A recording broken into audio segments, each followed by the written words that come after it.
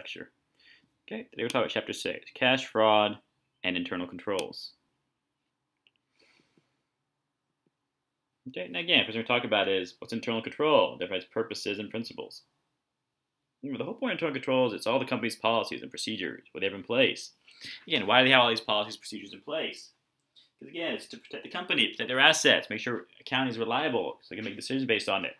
Make sure people even follow policies. Now remember, if people follow policies, operations should be efficiently done. Okay? Make sure things flow efficiently, effectively.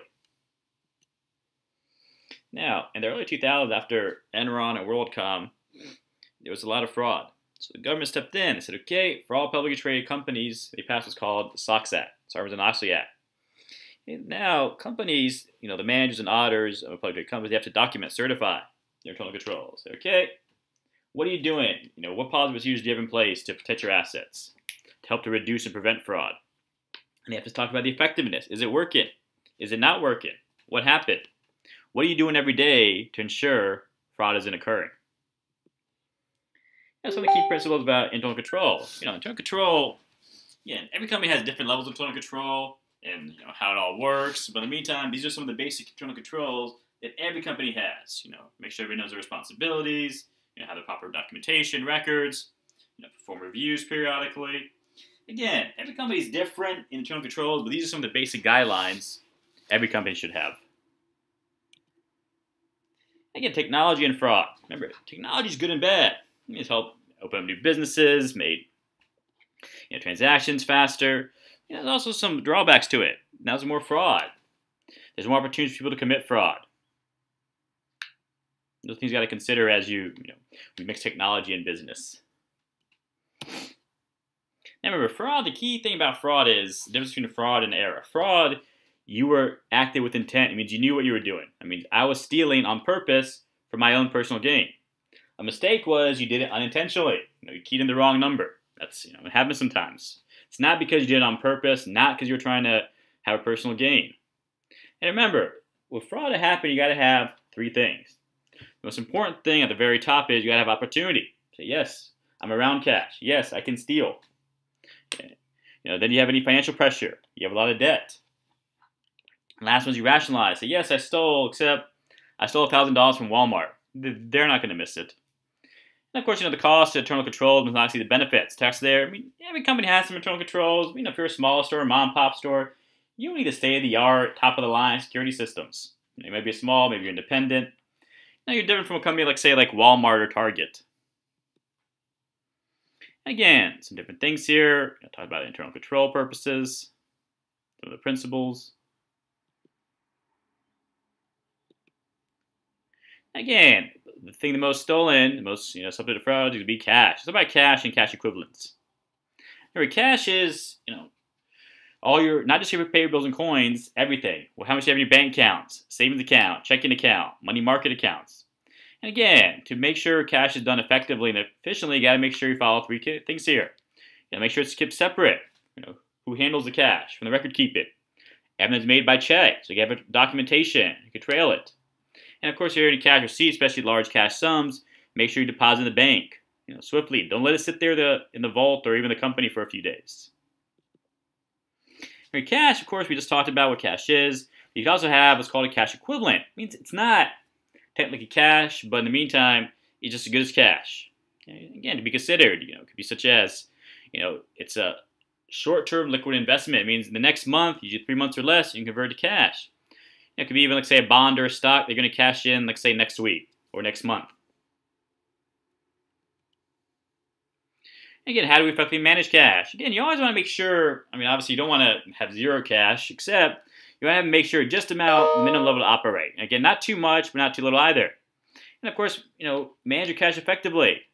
You know, obviously pay your bills on time. Encourage, you know, if you're doing receivables, make sure we see payment.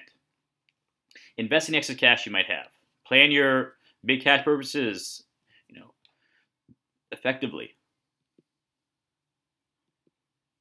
Again, here, you know, the counter receipts. Well, you, you got to make sure not only do they charge the right amount, do they receive the right amount.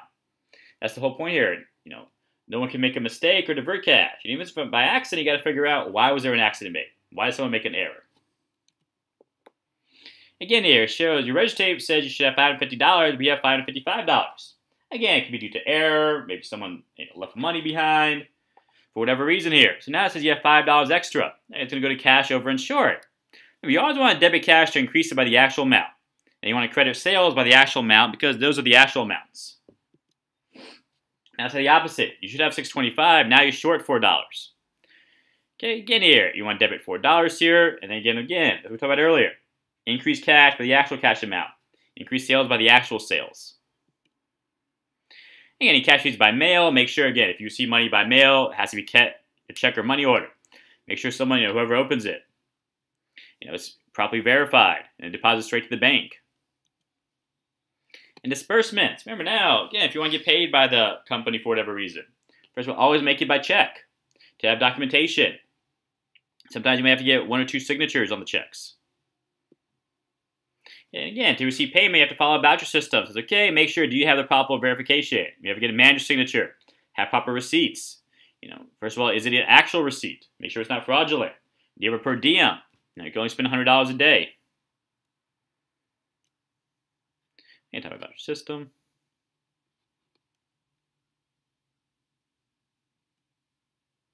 Yeah, let's talk about petty cash. And petty cash is just for your small incidental expenses, your postage, courier fees, Again, now we first establish it. You want debit petty cash to start it, you know, and of course credit cash to decrease it. So now it says here you have $75 for incidental expenses, you know, postage, courier fees, and so on. Again, you want to keep itemization here. Says, okay, what'd you spend that petty cash on? You know, tile cleaning here, transportation, and so on. Now remember, you can only spend $75. Here you spent $71.30. Now you reimbursed it. Because remember, you always want to reimburse it back to its actual amount. So now it says, all right, I want to put it back to $75. List out each expense. Then you want to credit cash for how much all your expenses were.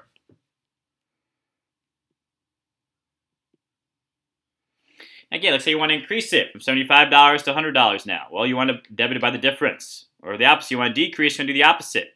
Debit cash, credit petty cash. You want to go from $75 now to $55. And sometimes even with, you know, if there's a difference here, sometimes petty cash is going to be a difference for whatever reason. Okay, get here. Again, it goes back to our account that we talked about earlier. Cash over and short. Get here. Give me some examples here.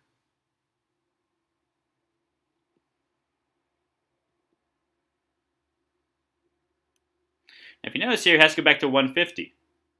You've spent $131, except you only cap $120. So that difference goes to cash over and short by $11.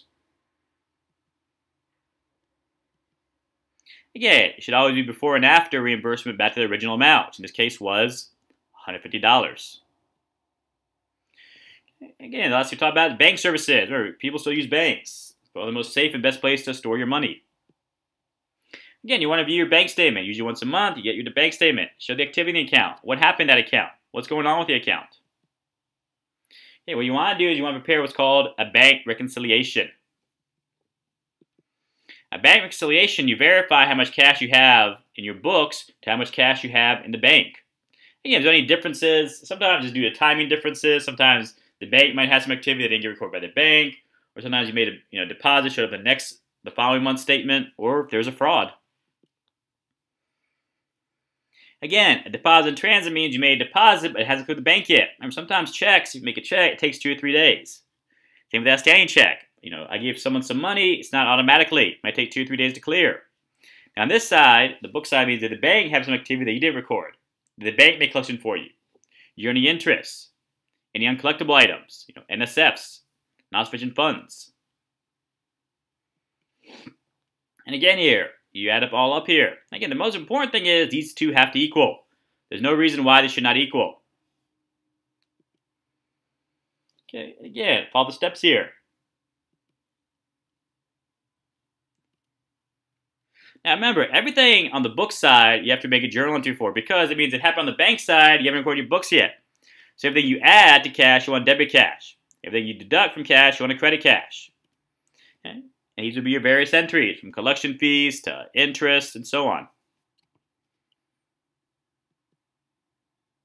Your example one for Gucci.